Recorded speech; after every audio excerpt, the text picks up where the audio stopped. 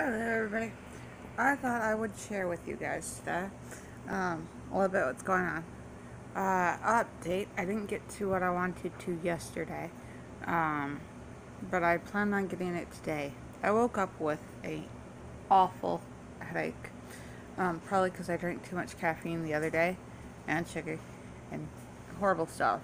So working with what I got, um, of course I took an ibuprofen and drank some more caffeine to help alleviate the symptoms, but understanding that my brain is probably starving for healthy fats, I put in for my pasta salad I made, which is an acquired taste, I'm telling you, avocado, which is healthy, good fats, helps the brain, and uh, cools cucumber stuff.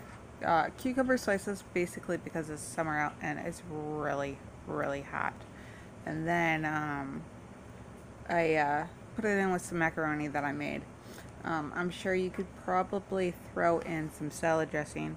Um, but yeah, uh, to eat some healthier stuff, I should probably eat less carbs and less um, sugar and more healthy fats. I've got some nuts I can munch on um, to help out alleviate um, some headache before I get into um, cleaning and taking care of an overwhelming mess.